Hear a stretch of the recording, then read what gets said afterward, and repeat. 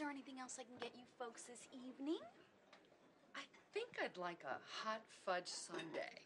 Oh, mmm, mmm. that does sound good. I'll be right back with that for you.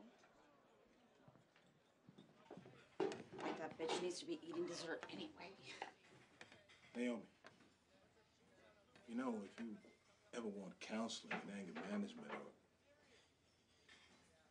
alcoholism, I'd be more than glad to do it for you. You do that for me?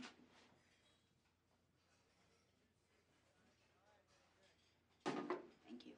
I appreciate that. But I think I'd rather you just wash the